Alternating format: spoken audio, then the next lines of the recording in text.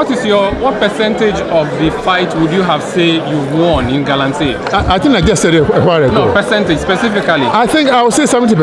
70%. Yes. You have failed by 30% then. If that's your assessment, that is Where are the excavators, sir? Every excavator that has been stolen will be found. Why were they stolen? You were sleeping on the job perhaps? I was not sleeping on the job. You have soldiers to guard excavators, yet they went missing. How did that happen? Pardon me? You have soldiers as part of the Operation Vanguard protecting these equipment. How did they disappear overnight? No, no, they did not disappear overnight. I mean, you you get a fast pretty soon. I don't want to. I don't want to go. I don't want to um, overstep what the uh, security people are doing, the investigators. So let us be patient. You'll get the facts pretty soon. How many are missing? Please, you'll get the facts very soon. As I said, they are being investigated.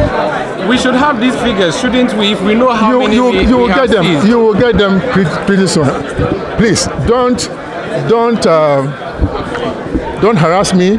You'll get the facts soon. Prof, if you say if you say that you've won about seventy percent of the the fight against No, you see, you, you, you, look, we will talk about Galamsey at the appropriate time.